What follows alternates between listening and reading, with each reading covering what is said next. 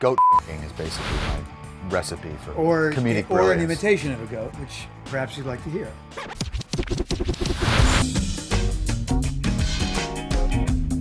Give me an emotion.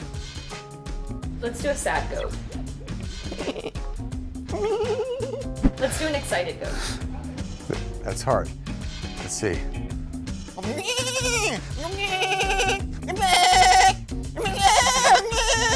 What kind of scared though? Like scared, startled or scared like I'm gonna get slaughtered? Okay, that was like Oscar worthy. You're welcome. That was the worst one.